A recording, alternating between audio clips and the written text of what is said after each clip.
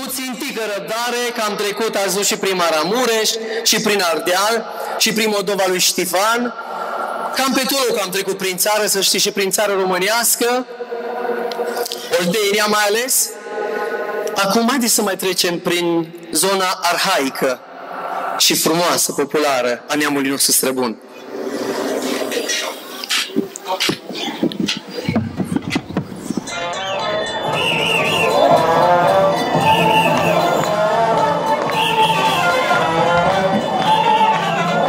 Thank you.